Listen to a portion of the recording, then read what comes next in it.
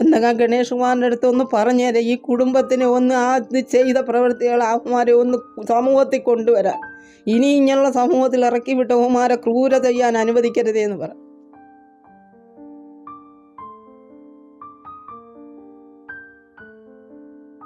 ജനുവരി പതിനാലിനായിരുന്നു ഫിറോസിന്റെ ജീവിതം മാറ്റിമറിച്ച ആ യാത്ര. കൊല്ലത്തു നിന്നും കുറ്റാലം പോയി മടങ്ങവേ കുന്നിക്കോട് പെട്രോൾ പമ്പിന് സമീപം ഒരു വാഹനത്തിൽ നിന്നും മദ്യക്കുപ്പികൾ റോഡിലേക്ക് വലിച്ചെറിയുന്നു. റോഡിൽ ഗതാഗത തടസ്സം. ഒടുവിൽ ഫിറോസ് വാഹനത്തിൽ നിന്നിറങ്ങി മദ്യപ സംഘവുമായി വാക്കേറ്റമുണ്ടായി. പിന്നീട് യാത്ര തുടർന്ന ഫിറോസിനെ പിന്തുടർന്ന സംഘം ഫിറോസിനെ ആക്രമിച്ചു. തല തല്ലി തകർത്തു. തലയോട്ടി തകർന്ന ഫിറോസ് ഒരു മാസത്തിലധികം നീണ്ട ചികിത്സയ്ക്ക് ശേഷം ജീവിതത്തിലേക്ക് പതിയെ മടങ്ങി വരികയാണ്. തകർന്ന തലയോട്ടിയുടെ ഒരു വശം മാറ്റിവെച്ചു. വന്ന് ചാടി ഇറങ്ങി എന്റെ കൂടെ മൂന്ന് പേരുണ്ടായിരുന്നു അമ്മമാരെ മൂന്ന് പേരെ ലോക്ക് ചെയ്ത് എന്നെ പിടിച്ചിറക്കി എന്നെ അടിച്ച്. അടിച്ച് ഈ ബ്ലൂടൂത്തിന്റെ മൈക്ക് വെച്ചാണ് തലയ്ക്കടിക്കുന്നത് തലയ്ക്കും ചുണ്ടിനും അടിച്ചു തന്നു. ചുണ്ട് വീങ്ങിയായിരുന്നു എന്റെ. തല ചതഞ്ഞ് പൊട്ടത്തില്ല ആ മൈക്ക് വെച്ച് അടിച്ചു കഴിഞ്ഞാൽ തല ചതയത്തേ ഉള്ളൂ. അതുവരെ ഓർമ്മയുള്ളൂ. പിന്നെ അഞ്ച് ദിവസത്തേക്ക് എനിക്ക് ഓർമ്മയില്ല. തലയൊട്ടി മാറ്റി വെച്ചു ഒരെണ്ണം. രണ്ട് ഓപ്പറേഷൻ ഉണ്ടായിരുന്നു. ഇതിപ്പോൾ രണ്ട് മാസവും അഞ്ച് ദിവസമായിട്ടുണ്ട്. മൂന്ന് കുട്ടികളുടെയും ഭാര്യയുടെയും മാതാവിന്റെയും ഏക ആശ്രയമായിരുന്നു ഈ ചെറുപ്പക്കാരൻ.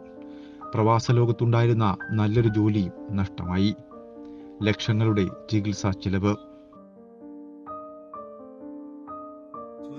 ആൾ തൊണ്ണൂറ്റെട്ട് ശതമാനം മരിച്ചെന്ന് പറഞ്ഞ വ്യക്തിയാ ഇത്രയും രൂപകൾ പന്ത്രണ്ട് ലക്ഷം രൂപ ഞങ്ങൾക്ക് പിന്നെ കിംസിലായി. ഇനി ആവശ്യത്തിന് ഒരു ഒന്ന് ഒന്നര വർഷം വരെ ജന്നി വരാതിരിക്കാനുള്ള മെഡിസിൻ കഴിച്ചുകൊണ്ടിരിക്കണം കേട്ടോ ഈ പുള്ളിക്കാരന് വെയിലത്ത് പോയി വണ്ടി ഓട്ടിക്കുകയോ ജോലിക്ക് പോവുകയോ പയ്യാത്ത അവസ്ഥയിൽ ഇപ്പോൾ വീട്ടിലിരിക്കുക. ഈ മക്കൾക്ക് ചെലവിന് കൊടുക്കാൻ പോലും ആരുമില്ല.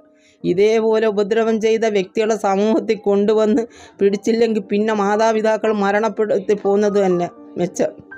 എന്തെങ്കിലും ഈ കേസ് ഞങ്ങൾക്ക് തെളിയിച്ച് തരണേ എന്നുള്ള പ്രാർത്ഥന. ഗണേഷുമാർ പറയാനെന്നുള്ള ഗണേഷുമാറിനെ പോയി കാണുന്ന ഒന്ന് രണ്ട് വ്യക്തി പറഞ്ഞു. ഒറ്റയ്ക്ക് പോകാനുള്ള പാട് കൊണ്ട് വിളിച്ചുകൊണ്ട് പോകാൻ ആരും ഇല്ലാത്തതിന്റെ പേരിൽ ഞാൻ പറയുന്നത് ഗണേഷുമാറിന്റെ മോൻ അറിയാമെങ്കിൽ ഒന്ന് പറഞ്ഞ് ഞങ്ങൾ സത്യാവസ്ഥ മനസ്സിലാക്കി എന്റെ മോനെ രക്ഷപ്പെടുത്താനുള്ള ഇനിയും മെഡിസിൻ കാര്യങ്ങളും എല്ലാം ഒരു ഗണേഷുമാറിന്റെ അടുത്ത് ഒന്ന് പറഞ്ഞേരെ ഈ കുടുംബത്തിന് ഒന്ന് ആ ചെയ്ത പ്രവൃത്തികൾ അവന്മാരെ ഒന്ന് സമൂഹത്തിൽ കൊണ്ടുവരാൻ. ഇനി ഇങ്ങനെയുള്ള സമൂഹത്തിൽ ഇറക്കി വിട്ട അവന്മാരെ ക്രൂരത ചെയ്യാൻ അനുവദിക്കരുതേ എന്ന് പറ. അവസാനമായ ഗണേഷ് കുമാർ സാറിനോട് ഞങ്ങൾ പറയുന്ന ഒരു അപേക്ഷയാണ്. തള്ളിക്കളയരുത്. ഈ അപേക്ഷ നിങ്ങൾ സ്വീകരിക്കണം. ഫിറോസിനെ ആക്രമിച്ചത് ആര്? പ്രതികളെ പിടികൂടിയോ? ഈ ചോദ്യങ്ങൾ ഇപ്പോഴും അവശേഷിക്കുകയാണ്. മറുപടി പറയേണ്ടത് കുന്നിക്കോട് പോലീസ്. സംഭവം നടന്നിട്ട് രണ്ട് മാസം പിന്നിടുമ്പോഴും ഇരുട്ടിൽ തപ്പുന്ന പോലീസിനോട് സഹതാപം മാത്രമാണ് ഇവർക്ക്. ഡി ജി പി മുതൽ താഴോട്ട് നിരവധി പരാതികൾ. ഫലമില്ല. സംഭവം നടന്ന സ്ഥലത്തെ എം എൽ എ കൂടിയായ കെ ബി ഗണേഷ് കുമാറിലാണ് ഇപ്പോൾ ഇവരുടെ പ്രതീക്ഷ. രാജേഷ് നിയോയ്ക്കൊപ്പം ഷമീർ റിപ്പോർട്ടർ.